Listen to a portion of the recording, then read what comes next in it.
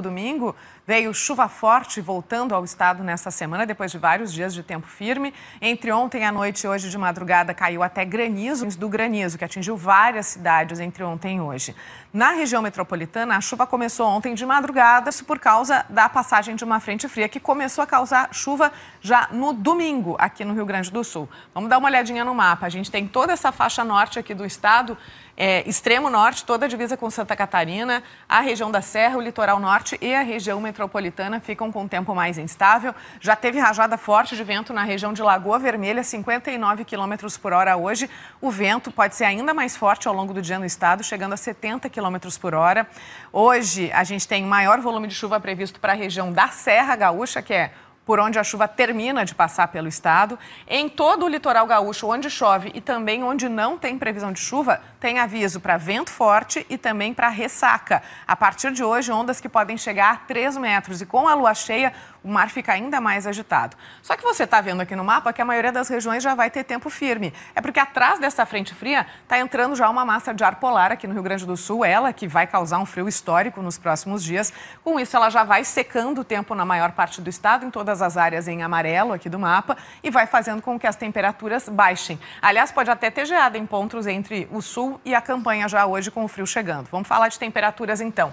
Essas são as máximas previstas para hoje: 14 em Alegrete. 13 em Bagé, em Pelotas, 15 em Porto Alegre, só 12 em São José dos Ausentes. E as mínimas do dia devem ser registradas à noite, assim como ontem. Aí de noite baixa para 4 em Bagé, também em Pelotas, 2 em Caçapava do Sul, em São José dos Ausentes.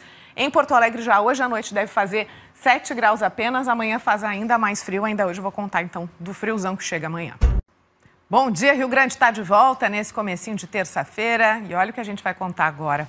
Mais de 180 imigrantes do Haiti desembarcaram ontem em Porto Alegre. Esse grupo conseguiu uma autorização na justiça para vir para cá e agora vai em busca de uma nova vida em várias cidades aqui do estado.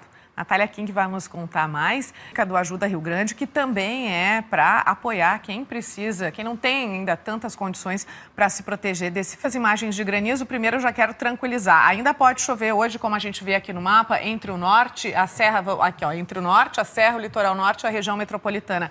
Mas o risco de granizo já passou. Era agora de madrugada, a partir desta manhã, já é seis e meia aí o tempo deve melhorando um pouco, apesar de continuar chovendo e ainda ter vento forte. Em todo o litoral gaúcho, vento forte e ressaca ondas que podem chegar a 3 metros de altura na costa, mas a maioria das regiões com o tempo aberto, porque atrás da frente fria que trouxe esses temporais vem uma massa de ar polar. Essa massa de ar polar já reduz bastante as temperaturas hoje à noite. Amanhã ela vai avançar, vai dominar o tempo no Rio Grande do Sul, aí o tempo volta a ficar firme em praticamente todo o estado. Pode ter geada em quase todo o estado, só o litoral não deve ter geada, inclusive a região metropolitana. Pode ter até neve entre amanhã e a tarde no sul e na campanha em alguns pontos isolados, é uma chance bem pequena, mas não dá para descartar.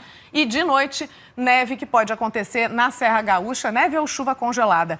Olha a previsão de mínimas para amanhã: menos um em Bagé, em Livramento, menos quatro em São José dos Ausentes e as máximas também são baixas. Não vai passar dos 12 em Santa Maria, na capital, e 9 em Bagé. Na quinta-feira,